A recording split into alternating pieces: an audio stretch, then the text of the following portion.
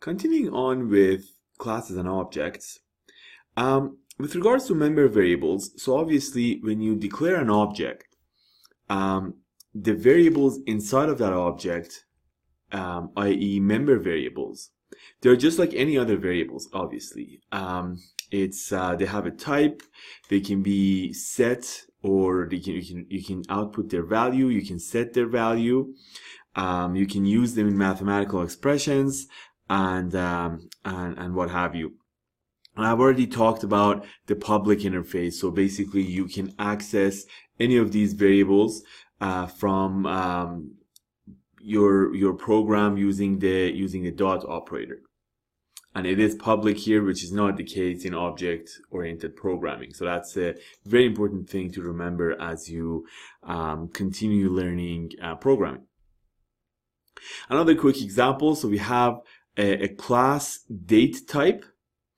And this class um, you have the definition up here at, uh, on top of uh, setup.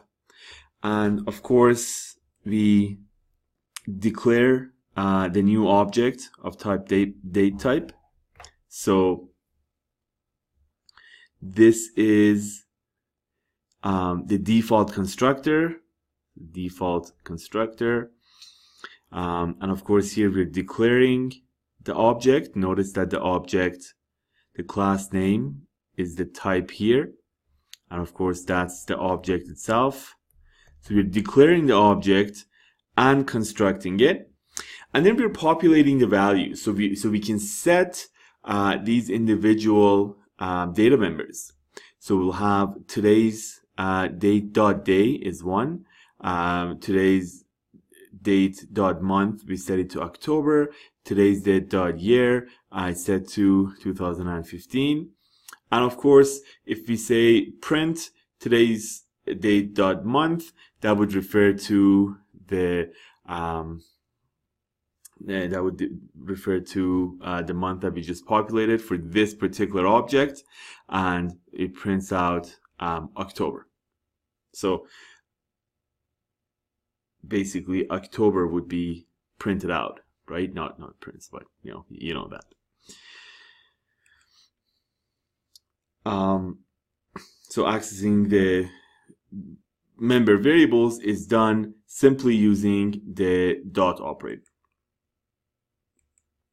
which is resembled here. So today's date is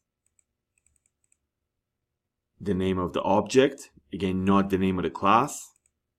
So you'll have the name of the object dot uh, member variables. So for example dot year. And that's how that's how it works using the using the dot operator. Um, so I have a couple of examples here in my slides. I'm going to do similar examples in my, in, in you know, with you using uh, using processing, and then um, also go through go through the examples that I have um, I have posted here. But let's actually just do um, a very similar example, but uh, let's do it interactively so we can solve it together. So let's say let's say we have a couple of classes. So I have class ball.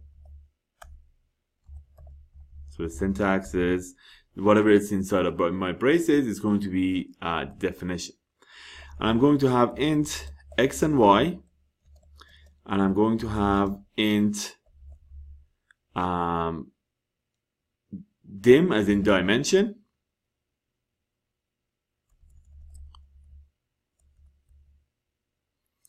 And then I'm going to have another class called class square and in there I'm also gonna have int x int y um,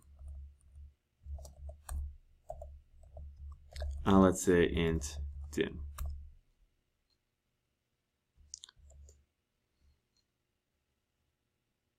oh I had this from before so there's nothing else. All right, all right.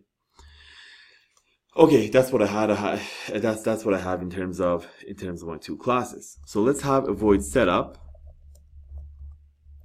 And in void setup, so basically in memory, I don't have anything right now, right? Void setup loads, there's nothing in it.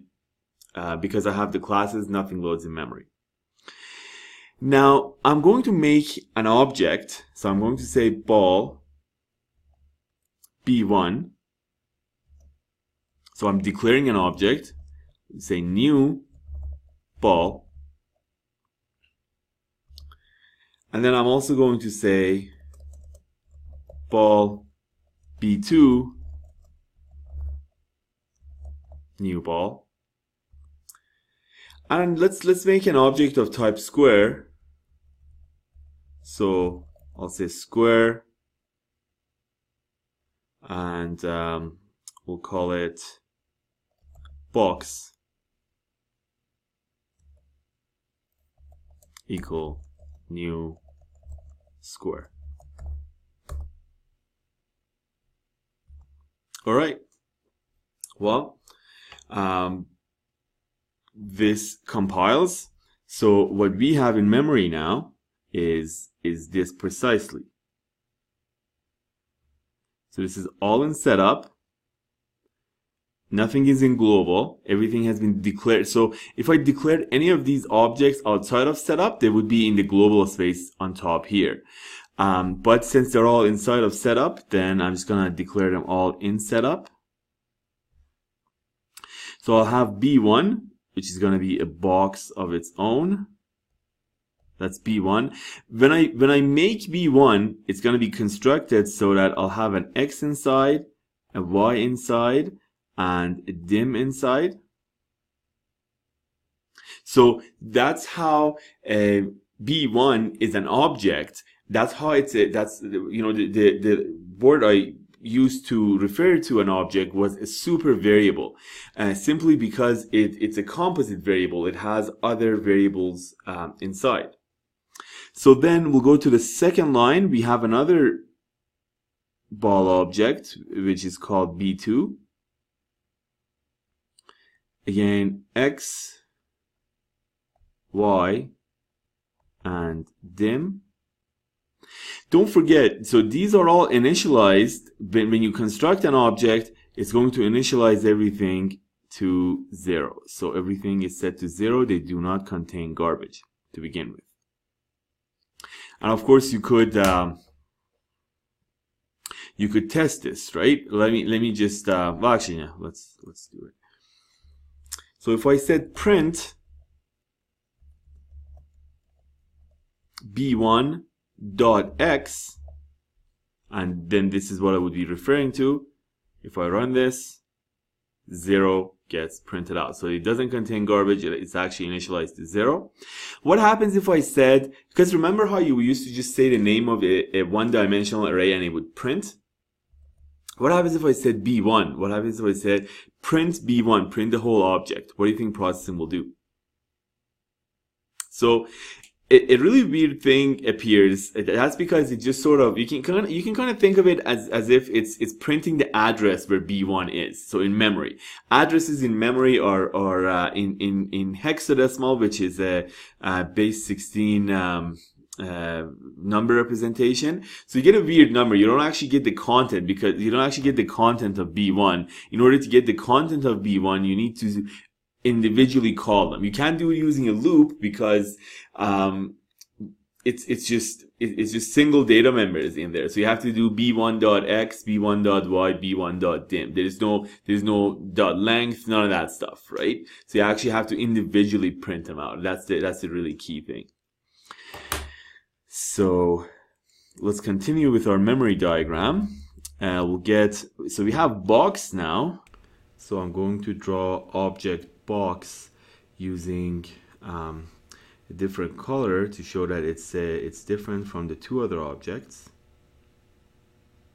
So in box, it so happens that we also have an X, Y, and dim.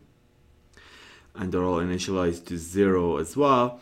But one thing you have to realize is that even though object box um, has the same number and type of variables, it's still a whole different object, a whole different entity, a, whole different object type than B1 and B2.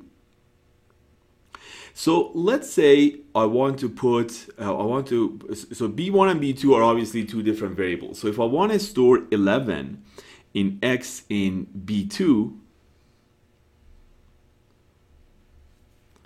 so if I want here to have 11 instead, what I would do is I would simply say b1, sorry, b2 dot x equal 11.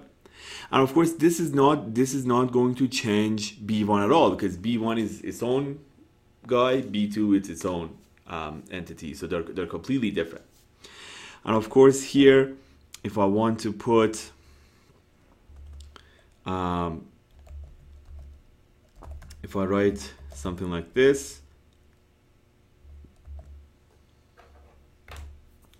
box.dim 20 so uh, value 20 would go inside of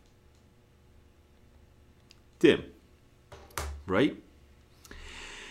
Uh, and that's they, they work exactly like um, like other variables. It's just that you need to access the internal variables the member variables using the dot operator.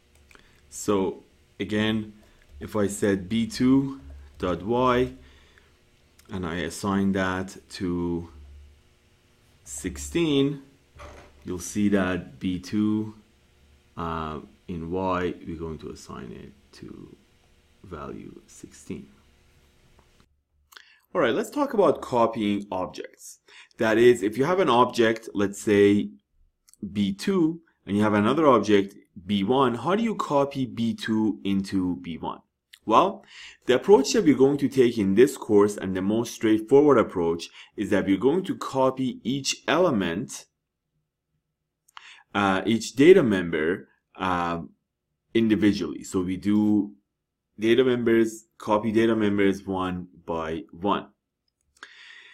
So for example, if we wanted to copy B2 into B1, we're going to say b1 dot x is going to be assigned to b2 dot x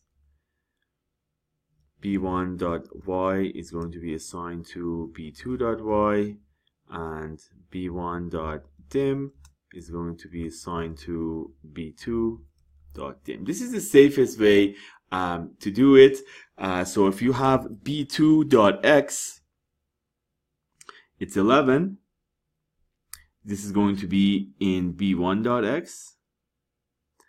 Um, b1 dot b2 dot y is going to be assigned to b1 dot y, so this is going to be 16.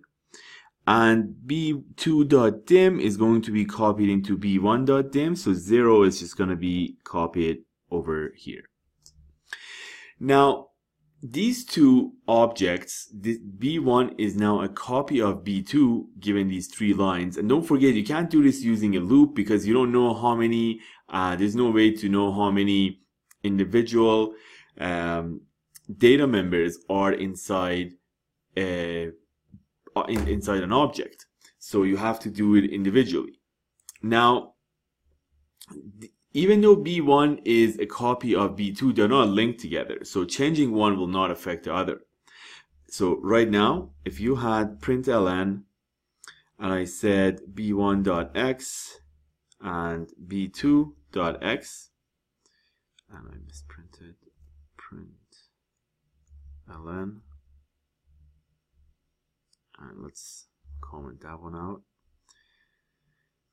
So if you print this now, what you're going to get is 11 and 11. Now, if I decided to change b1.x to 10, or let's say something more obvious, 100, if I printed them both again, you see that the values are different. So B1 and B2 are not um, linked by any means. So right now, B1 is going to be 100. we could copy them using the equal sign, uh, the assignment operator. We are not going to use the assignment operator in this course uh, for objects. We are also not going to be using them for the arrays. I introduced them for the arrays. I am going to put a note uh, on that lecture to not use the assignment operator to copy arrays into one another and also not use them, not use it for copying objects into one another. The reason is, um, if, let's go back to what we originally had. So that this is what we had before we started copying. If we do, if we say b 1 equal b2. If you, if you, if you do this instead, we're saying copy b2 into b1. But basically what happens is these two will, will become one and the same. What happens in, in, in, in memory is that this thing gets destroyed. So we actually end up with something like this. We end up with, uh, let's change the color too. We end up with B2 actually being a link to, uh, sorry, B1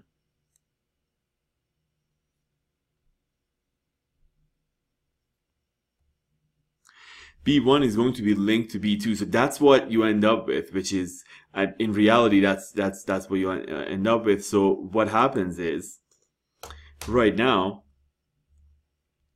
if you said print b1.x and b2.x, obviously it's going to be the same thing. But what's surprising is if you said, okay, well, I'm going to change B1, I'm going to change B1 to 100, and you try to print them again. So now, when you change B1 to 100, B1x to 100, so x is going to change to 100 here. So here, you see that both of them are going to become 100. So this is an extremely dangerous thing to do because now you don't have two separate individual objects, you have one object only. Um, and this is, um, it, it, works exactly the same way with arrays. Um, I've put a, a, note on, on, on that lecture. So basically, you will not use the, in, in this course, we will not use the assignment operator, which is the equal sign, we're not going to use this for, to uh, copy objects or arrays. We're just going to do it member by member. So with, with, with in the case of arrays, you do it using a loop. Uh, in the case of um, in the case of uh, objects, you just do it member by member.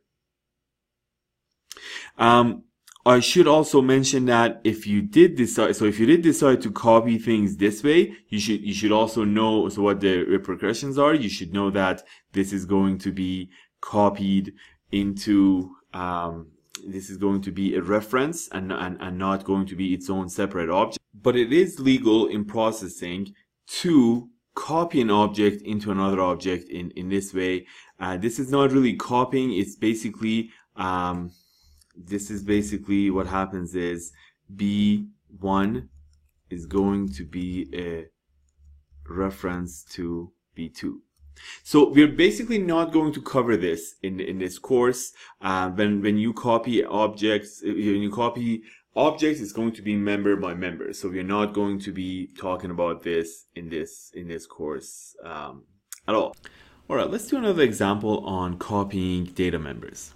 So let's say we have a couple of classes that aren't particularly even related. Um, so we have a class person, and we'll say a person will have um,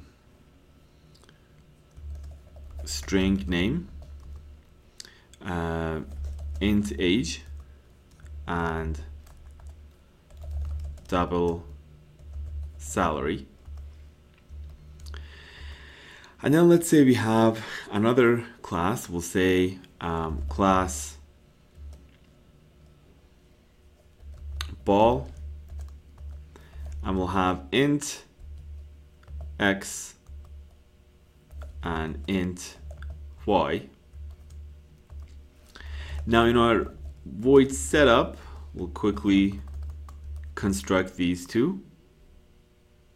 So we can have person p1 equal new person and we can have ball b1 new ball and let's have b2 as another object so let's see what we have in memory now. We're going first of all we're going to have P1 which has name but name is null there's nothing there we have age which is an integer uh, there's zero and we have salary which is a double and we have zero and then we have two of the ball objects. So B1, there is an X and there is a Y.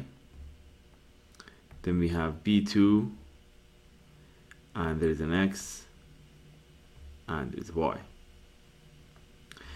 So if I wanted to copy data members, you have to understand that when we talk about data members, you're talking about integers or doubles or whatnot, right? So if I have b1 dot x and I set it to 7,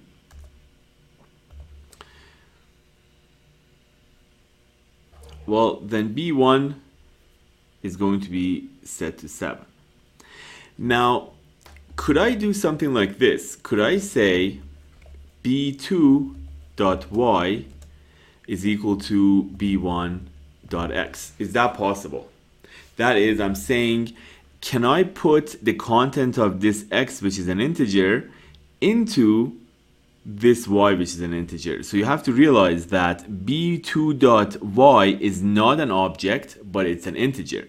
So b2 is an object, b2 dot y is an integer. So um, can I put an integer into another integer? Sure, I can. So this becomes 7. Um, could I go ahead and say b, can I say p1 dot age equal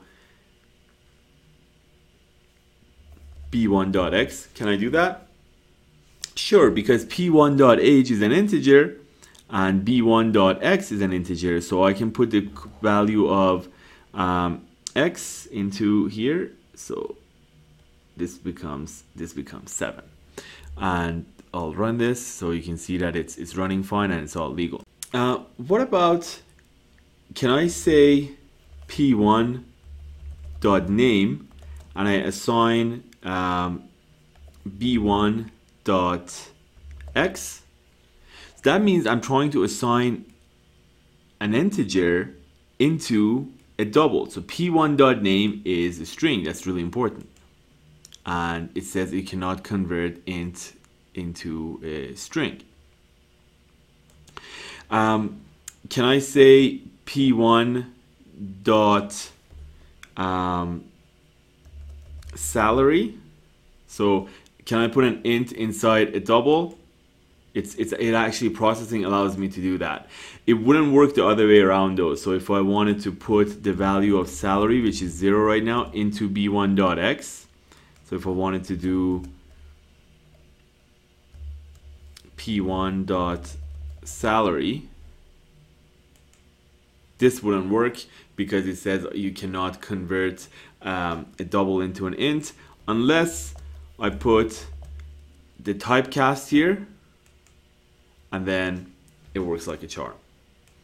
So when you're copying, you have to understand that you have to copy the same types into the other types. Now, one thing I said that I'm not going to, so we are not going to cover. So let me just um, take everything. One last thing, I said that I'm not going to, we're not going to cover um, copying with the assignment operator.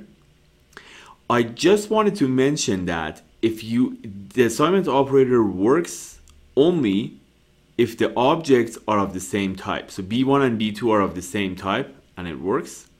But if I ever try to copy, for example, P1 into B1, so like objects of, of different types, so this is of type person, this is of type ball, uh, this is this will not work. Again, the assign, assigning an object to another object, it's, it's one thing that uh, you guys will not be responsible knowing for the final exam. If I want you to copy an object into another one, it'll be using individual um, data members. Thank you.